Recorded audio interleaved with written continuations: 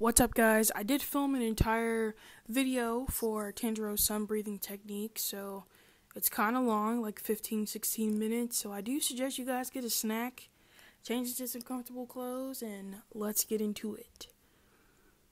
So first things first, I'm using TXTPHAN's um, brushes. They are the 9mm and the 5mm.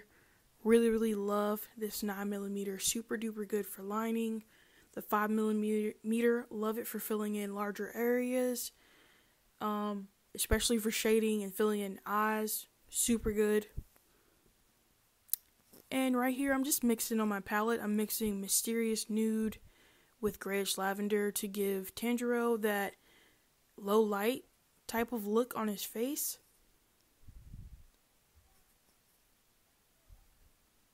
Also, Never mix your paint with your brushes because you could like flare out the bristles and sometimes they won't go back. Sometimes, but you can make it work. Try to use like a silicone mixing tool or like a spatula or something. Alright, now I'm going in with his general eye shape. This doesn't have to be perfect because you can perfect it with his eyebrows, eyelids, and eyelashes when it comes down to that part.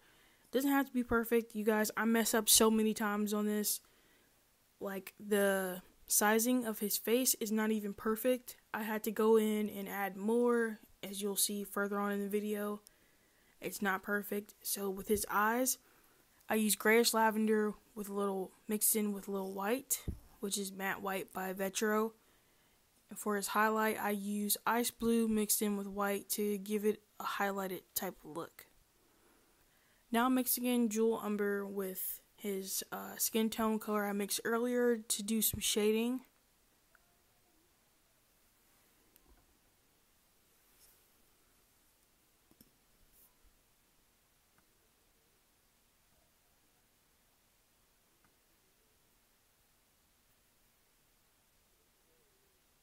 For some reason, I lost the footage of me outlining his eyes but as you can see, it's a general shape.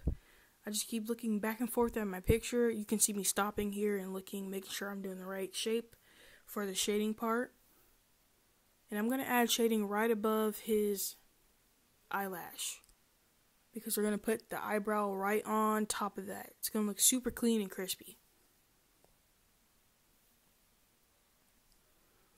Of course, I'm adding shading underneath the eyes you know, just gauge back and forth with your picture. You don't have to add all the exact shadings that are on, that's on like your reference photo, but it does help it stand out more. So it's up to you.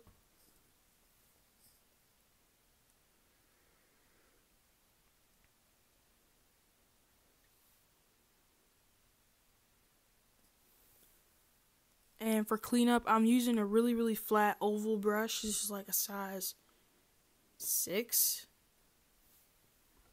I can really like squeegee it in there and like make a straight line with it. I use it all the time for cleanup.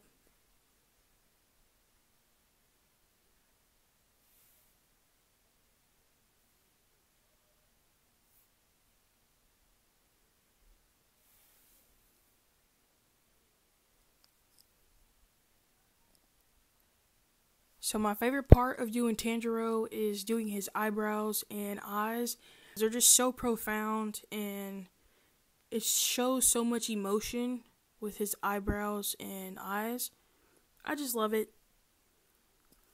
We gotta give it up for our Cancer King, Tanjiro Kamado. So normally I would like his eyebrows a little more skinnier than this, but I was trying to film and I got tired of, you know, kept going back and erasing because my phone was like tr- like damn near in my face. So I got tired of going back and erasing. So you know, his eyebrows are much skinnier on my first time doing him than it is this time. So I did these like two two and a half years ago, but I just refilmed it for you know video purposes. A lot of people wanted to see how I, you know, did the process, how I did the color grading, and how I did the fire. So, regular black, I will never in my life use Vetro Boss Black for filling in because it won't cure. That black is so pigmented, it won't cure in the light. It's just so, super duper pigmented.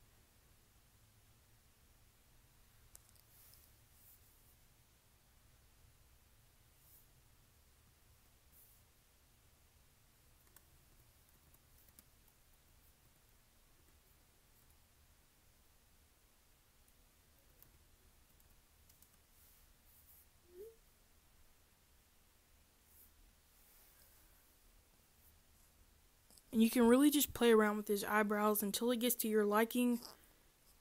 And now I am filling in his eyelid lines with Vetro Boss Black. I don't know, you don't have to switch back and forth, but I just prefer Vetro Boss Black. It's just like my all time finisher. Now I'm going in with his nose, and right here you can probably see me gauging and realizing that his nose is way too big for his face. And I'm gonna have to go in and add more face sur- surface area for his face. Now that was a tongue twister. But I'm gonna have to go in and add more to his face because it's just unproportionate right here. If you just look where his nose is, it's way too big. Of course, I'm gonna add a pop of shading in there.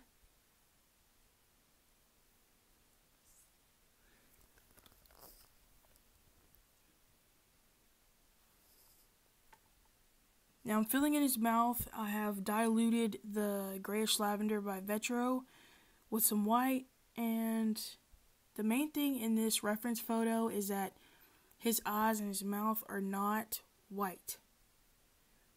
Honestly, you can zoom in and you can look really, really closely. They're not white, they are like a really, really light lavender purple color shade. Like as you can see here really really good. The unproportionate mouth there's not enough room for it to look correct. So I'm gonna add in more down there.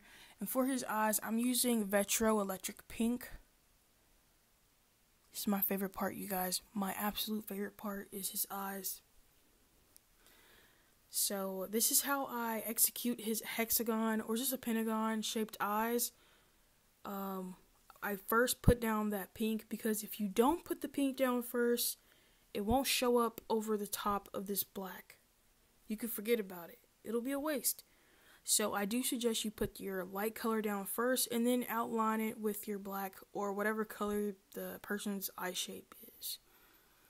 Um, and I do that trick for like most of my anime pictures that I'm drawing is I put the lightest color that that's in their eyes and I do that. I'm going to highlight the side of his face with a lighter skin tone. So I just used his original skin tone, skin tone mix that I made earlier and I added a little bit of white. Look at this beautiful green. This is for his um, jacket, his green and black checker jacket, which is barely in frame, so it's no big deal if you don't add it in there. And for his scar, I just added some more jewel umber to give it a dark shaded tint. And again, I just use his regular skin tone mix that I use. You can see here I made his forehead a little bit bigger because I I didn't gauge it right. And that's okay. It doesn't have to be perfect. You can fix along the way. And we can troubleshoot. So if things aren't looking too good, don't worry you can troubleshoot and fix it towards the end.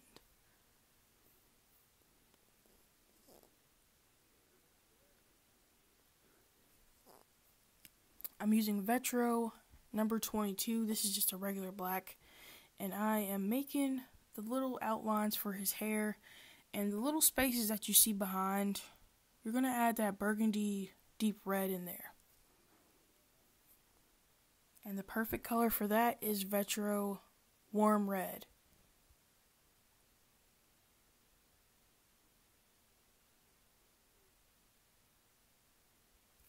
Gonna add a little dot for his pupils.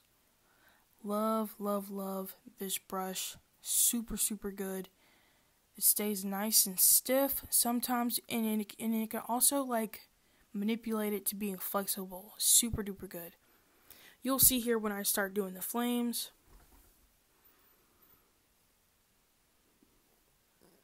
Now for the flames, uh, you're going to have to outline what you want to be in flames with white first. Then you're going to go in with your colors on top of that. So this is Vetro Matte White and I made a little outline for where I want the fire to go and yeah you can see right here I'm going to line up the other nails just to make sure that I'm still on track and it spans across both pretty evenly. He's starting to look good. I kind of messed up on his ears but I'm, I'm going to fix that in the end. Like I said I'm not perfect you guys. Don't stress. Everything can be fixed.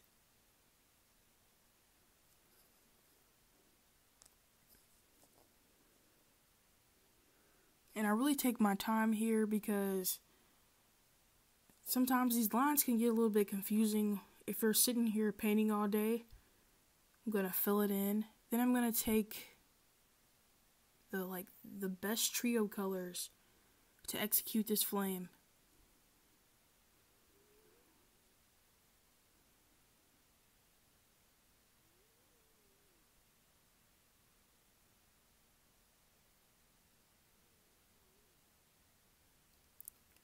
For the flames, the colors that I'm going to use are also from Vetro. I have the code. I'm going to list all the items that I use at the end with my code, um, my best friend's code, the link to her brushes, all that stuff, the link to the website where you can purchase all these items if you want. There's no pressure, but I'm going to link it, you know, just to make it a little bit easier for you guys. So the colors that we're going to use for the flames, we're going to use Vetro Matte White, which we already put our base down. And then we're going to use, look at this, it looks so good, right?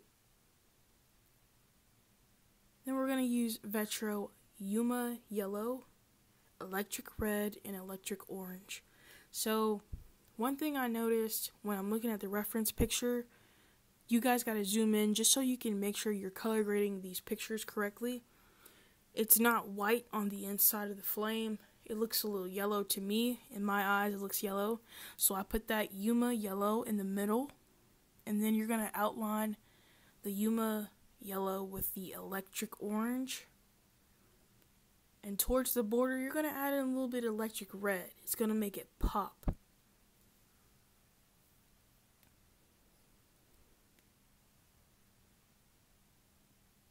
Like you can see here.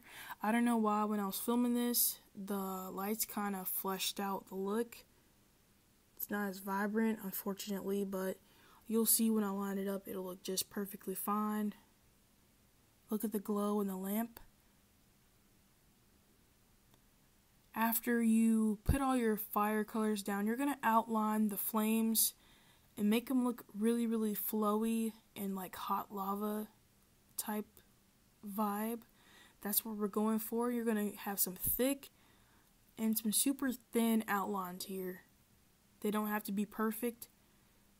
Some are some are minuscule, super duper thin, and some are kind of thick because this is what it looks like on the reference picture. It's going to make it pop.